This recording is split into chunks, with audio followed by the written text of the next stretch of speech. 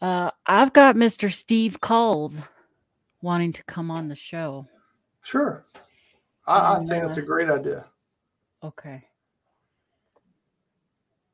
So let me get that sent to him.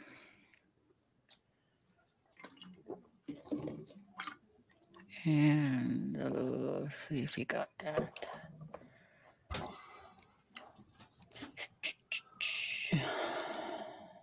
Now this this mm. is this is going to be the best show ever. You're, I'm a little bit nervous right now, folks. is there any way that we can extend this to? Oh, yeah, we can keep going. All right. Okay, yeah, it got sent. I thought I sent it to the wrong place.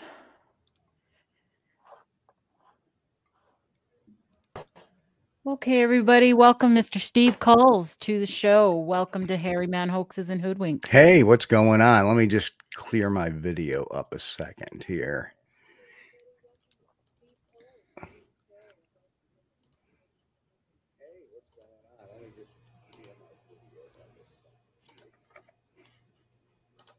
There we go. All right.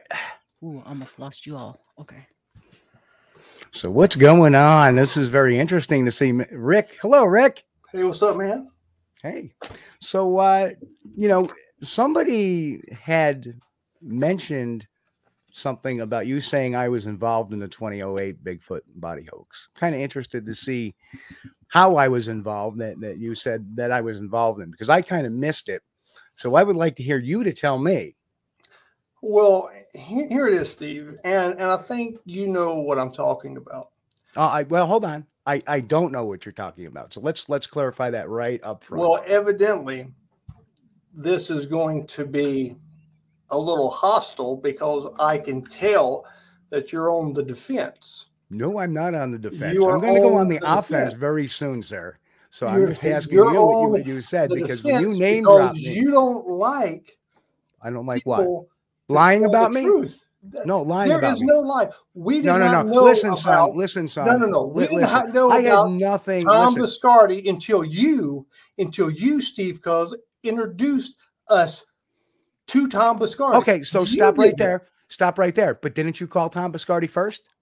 I did not. Don't lie. Don't no. lie, Rick. Don't No, lie. You no, did. You did. not. You did. We didn't know no You one. Steve. Steve, we knew Because you know no why, son? in the Bigfoot community. Yeah. Do We you know why, son? Because Biscardi called me did first. He called me This first and told me that you planned would call during him. your your uh re- your radio show. You said beforehand you're going to